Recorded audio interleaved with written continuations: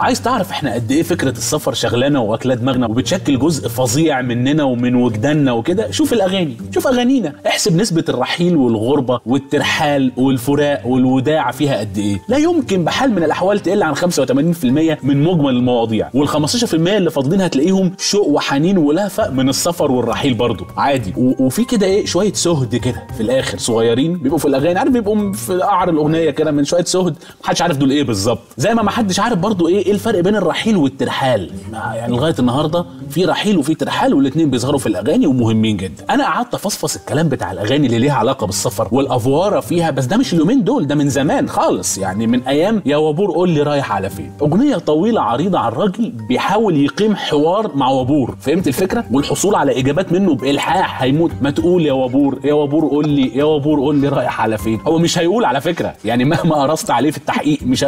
مهما ضغطت مش هيقول حاجة. مع إنه ممكن بسهولة يسأل في الاستعلامات في شباك جوه في المحطة يجاوبوه عادي حضرتك ده قطر أسوان يا حاج وراح أسوان إن شاء الله. بسيطة ما مش محتاج انه يقف يغني قدام الوابور فاهم؟ شكلهم غريب. هتلاقي بقى إن السفر عندنا مرتبط ارتباط شرطي بالتقطيم. ما تفهمش ليه؟ إزاي؟ يعني أي حد مسافر لأي سبب لازم نقعد نهري ونحسسه بالذنب والقسوة والجحود وخلاص. مع إنه كل اللي يعرفوه تلاقيهم كانوا بيسعوا للسفرية دي بقالهم سنة. مثلا أبوه موصي طوب الأرض أمه بتدعي له ليل نهار إن ربنا يسهل والسفرية تمشي بس برضه لازم حتة التنبيط دي خلاص. اللي هو إيه؟ خلاص مسافر مسافر مسافر. يا باسبورك تذكرتك معاك اخص عليك. يا قاسي يا وحش نهون عليك. لسه ناوي على الرحيل. تفتكر ملوش بديل؟ والنبي أنا خايفة لما تسافر على البلد الغريب. تنسى إنك فايت في بلدك حبيب. طب خدت صورتي. شوف كده لا تكون نسيت عمري وصبايا. بص في الشنطة في الجيب اللي بره. لا تكون نسيت عمري وصبايا. تنساش فرشة السنان ومكنة الحلاقة والحاجات دي. تقطيم وخلاص. لازم. عدينا مرحلة التقطيم حضرنا الشنط ندخل بقى على مرحلة الوداع. دي مرحلة مش سهلة خالص. بتلاقي أعداد بشر مهولة جايين يودعوا المسافر من كل حتة اهله واصحابه وقرايب درجة رابعة وناس جايين من الحضر ومن الريف ما وما تفهمش من كل حتة ناس ما تعرفهمش ما تعرفش ليه. وطبعا يوم الوداع الحب ضاع والقلب آه آه حس بضياع ده مبدئيا. فهنعمل إيه في المشكلة دي؟ لو ينفع سافر من غير وداع. شفت الأغنية تقوم إيه؟ رد عليها. آه. لو ما عرفتش تملص خفيف خفيف من الموضوع واتدبست في مرحلة الوداع دي يبقى على الأقل إيه؟ خلي الوداع من غير قبل. عشان العدوى. فاهم هي دي مشكلتهم. لو تقدر كمان يبقى ودعني من غير ما تسلم. خالص بقى. طب دي تتعمل إزاي؟ يعني من غير من غير قبل مفهومة. لكن إنما يودع من غير ما يسلم خالص دي تتعمل إزاي؟ دي زي لما ماما تقول لك رد وأنت ساكت. فاهم؟ يعني يا ما هو أنا إما أودع وأسلم يا إما ما أودعش وأقعد في البيت. أو أطلع من سكات. أعمل إيه؟ ده زي اللي قال لك قال الوداع وأنا أقول له إيه؟ قال لك الوداع قول له الوداع. سهلة. هو الوداع يتقال فيه إيه؟ تاني ما بيتقال فيه الوداع حضرتك. ليه محسسني ان الاجابه صعبة؟ يعني يعني واحد جاي يسألني ده أنا حاسس إنه طفل صغير. بيسال هو قال لي سلام عليكم أقول له إيه؟ أقول له حبيبي قول له قول رد على عمه خليك فريندلي. قول له عليكم السلام. عادي. بمناسبة الأسئلة في بقى أسئلة عجيبة مرتبطة بالسفر عموما. إزاي؟ ليه بيقول لك يا مسافر وحدك وفايتني؟ ليه تبعد عني؟ طب ما أنت جاوبت أهو. أنت مش مركز بس. ما هو مسافر وحده وفايتك علشان يبعد عنك. واضح جدا. هو بيخلع. فده هو ده حرفيا اللي بيغني ويرد على نفسه. ولما أنت ناوي تغيب على طول مش كنت آخر مرة تقول يقول إيه؟ يعني وهو ماشي يقول أنا هغيب على طول على فكرة. طب يعني الراجل حسيس وعنده دم وبينطر بشياكة ويلا موبايلات بقى ونبقى نتكلم ومش عارف إيه إن شاء الله. ليه نزنقوا الزنقة دي؟ طب يا جماعة أنا ماشي بقى وهغيب على طول. أديني بقول أهو.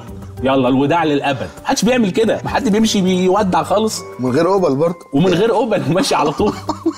أو جاي في إيه وسافرت في إيه وما ريحتش عندنا ليه؟ ما تسيب الجدع على راحته. إيه الخنقة دي؟ جاي في إيه وسافرت في إيه وما ريحتش عندنا ليه وما جبتش الموبايل التاتش ليه؟ وبتبرطم بتقول إيه؟ سيبيه براحته. الراجل طفش من شوية. ما هو ماشي بسبب العمايل دي. أو مثلا إيه؟ ده اللي لقيت في الغربة المال فين هتلقى راحة البال. طب يعمل إيه الراجل بقى؟ يعني رايح شقيان وبيتهزق. ونفسه يولع يعني يولع في نفسه. يعمل إيه علشان ترتاحوا في بقى عندنا عادة غريبة جدا مرتبطة بالسفر وهي إننا أول ما نشم خبر إن حد مسافر نفس البلد اللي لينا حد فيها نفكر نبعت له حاجة. طبعا. آه، أي حاجة بقى عارف لو ده في حتة وده مش مشكلة لمجرد إنه رايح نفس البلد. ولما ما نلاقيش حاجة نبعت أي كلام فارغ. زمان كنا بنبعت شريط كاسيت. فاكر؟ طبعا. ساعات كانوا بيبعتوا حاجات مهمة جدا بقى زي كيلو لب أبيض صينية بقلاوة كيس ملوخية ناشفة أي كلام. لا وبنتعامل مع البلد على إنها أوضة وصالة إن هو ممكن ما يكونش جنبه خالص. فكر فيها بالعكس كده. تخيل واحد جاي مصر واحد بعت معاه كيلو لب أبيض مثلا يوصله لابنه في أسيوط. انت جاي في القاهرة. عادي. قول له النبي معلش عشان ابني يموت فيه. ويا ريتها حالة إنسانية ولا حاجة ولا مش محتاج نقل دم مثلا ده قرطاس حمص ما فيهوش حاجة. الحالة دي موجودة كمان في أغانينا طبعا. قال لك إيه؟ وبعتنا مع الطير المسافر جواب وعتاب وتراب من أرض جدادي وزهرة من الوادي. إيه ده بقى؟ تراب بعت معاه تراب؟ والطير واقف متورط. يا معلش هنتعب حضرتك. هبعت هبعت معاك جواب. لا تحت أمرك يا طنط. حاضر. وعتاب حاضر. وحطه تحت جناحه كده. حاضر. وتراب من أرض جدادي. لازم ده يا طنط؟ بس ممكن يضايقوني في المطار عشان شايل تراب حاضر. وزهرة من الوادي حطها ورا ودنك كده وانت إيه كل ده؟ طير مسافر هيشيل إيه ولا إيه بقى؟ إيه اللي الافتراء ده؟ في ناس بقى عندهم ظروف استثنائية جدا في سفرهم. زي اللي يقول لك إيه؟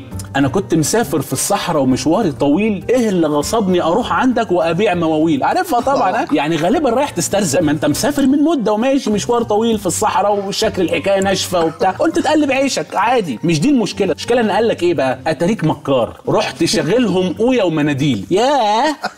معقولة؟ ساحر يعني. لا بغ- بغض النظر عن استحالة الفرضية دي يعني إن هو باع له مواويل إزاي والتاني عملها مناديل إزاي كل ده ملناش فيه دي أرزاق بتاعت ربنا. بس يعني للحق أنت أنت بعت وهو اشترى وباعترافك ده مش خطك ده؟ يعني مش أنت بعت؟ يعملهم بقى مناديل يعملهم حتت للمطبخ كيس مخدة مالكش فيه أنت بتشتكي من إيه بالظبط؟ أنت مسافر في الصحراء وبتكح تراب مناديل إيه بس اللي مزعلاك دي؟ وما فيهاش مكر قوي برضه عادي يعني. آه مكر قوي خد المواويل وقام عاملها مناديل كده في في حركة. حركة واحدة كده. ويقول لك برضو إيه في إيديا المزامير وفي قلبي المسامير الدنيا غربتني وأنا الشاب الأمير. موضوع الشاب الأمير ده علميا مستحيل على فكرة. يعني واحد في قلبه مسامير يقدر يمسك في إيديه مزامير في نفس الوقت. هو ممكن يعلق محاليل بالكتير. أو يمكن يقصد بالمسامير دي الدعامة مثلا اللي في القلب. وبعدين الحالة الحرجة دي إيه علاقتها بالغربة بقى؟ هو أي تسول وخلاص. يعني عندي مسامير ومعلق حاجات ومسافر وعايز كام؟ طبعا في طرق تانية كتير جدا للسفر غير اللي مسافر في الصحراء بري ده. في اللي بيسافر عن طريق البحر مثلا. لا وبيتنك كمان. قال لك اوعوا تحلوا المراكب. والله يا ناس مراكب ولا حاطط رجلي في المية. لا مفيش. معلش حضرتك هتحط رجلك في المية ليه؟ أمال أسطول المراكب ده كله إيه لازمته؟ تحلوا المراكب وتحط رجلك في المية برضو. يعني كل واحد عنده أسبابه للسفر والغربة والشحططه في ناس بتسافر وخلاص. يقول لك خدني معاك إذا كنت مسافر خدني معاك. خلاص. مش في مصلحة؟ ياخدك ابن اخته طب هو مسافر يشتغل يتعالج يدفع ياخدك فين؟ بس أغرب سبب بقى اللي هو بتاع إيه؟ بتاع علموني عينيك أسافر. يا ساتر هم وحشين قوي كده. علموني أفضل مهاجر. أنا مش فاهم عينيه دي إيه؟ دي فظيعة. ده مركز كورسات. يعني إزاي بتعلمه؟ مش فاهم. ده مش هروب مؤقت. ده رايح خالص. بس أنا بقول لك إيه؟ أهم حاجة بالنسبة لك أنت سافر من غير وداع. اجري. إحنا كده. نسافر هنا ونسافر هنا ونسافر هنا. برضه ما نرتاحش وما ننبسطش غير في بلدنا. وعلى رأي الشاعر قال لك إيه؟ قال لك أنا مهما خدتني المدن وخدتني ناس المدن دايما صورتك في قلبي دليلي في الإيه؟ في القبل؟ لا يا ريت. في المدن برضه. است... آه لا آه دليلي في المدن. السذاجه دي؟ استسهال خالص. حتى لما اشتاق يا عيني ساب إيده. يا عم خليني ساكت أحسن.